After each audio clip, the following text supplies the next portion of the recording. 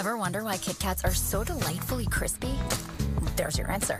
One, two, three. Tasty wafers covered in creamy milk chocolate. Isn't it nice wafers are having their moment? Have a break. Have a Kit Kat. Delight in the moment with chocolate frosted donut.